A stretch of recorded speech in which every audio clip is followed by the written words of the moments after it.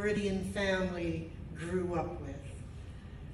His family and his self-made family followed the traditions of his favorite time of the year, the 12 days of Christmas.